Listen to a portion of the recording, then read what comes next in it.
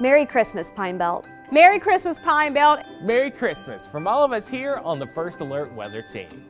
From us here at WDAM to you at home, have a Merry Christmas and a Happy New Year's.